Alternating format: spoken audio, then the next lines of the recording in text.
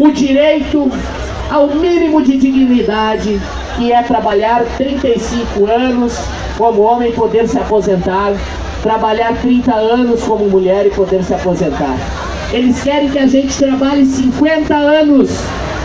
Me digam, ninguém, olhemos uns para os outros, ninguém de nós vai conseguir ter carteira assinada ou estar no setor público durante 50 anos.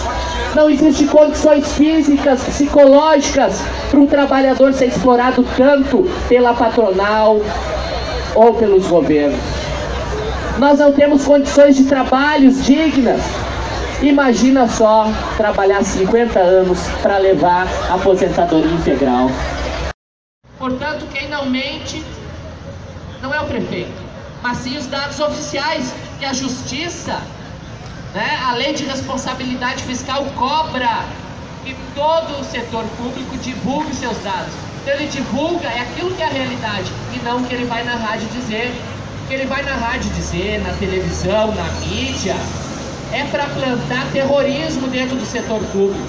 Por isso que nós temos que pegar os documentos do sindicato e espalhar eles. Mas não é só por isso que a gente para no dia de hoje, 19 de abril de 2017 é porque há um ano se instalou no Brasil um sistema de profundo ataque aos direitos da classe trabalhadora brasileira. Nós, com a PEC 55, sofremos do congelamento por 20 anos de recursos aplicados na saúde e na educação. Importante ressaltar também, pessoal, que essa paralisação, ela nos prepara, em parte, para o dia 28. É fundamental que nós intensificamos nossas mobilizações dia 28, pessoal. Porque o Temer, espertamente, devido à pressão, está recuando em algumas questões da reforma da Previdência, para tentar diminuir a pressão.